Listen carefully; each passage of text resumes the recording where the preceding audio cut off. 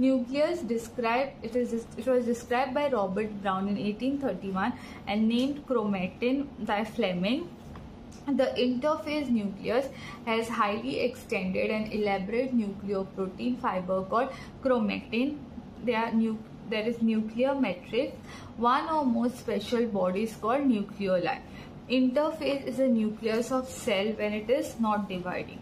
Electron microscopy has revealed that nuclear envelope which consists of two parallel membranes with a space between is called perinuclear space forms the barrier between the materials present inside the nucleus and that of cytoplasm.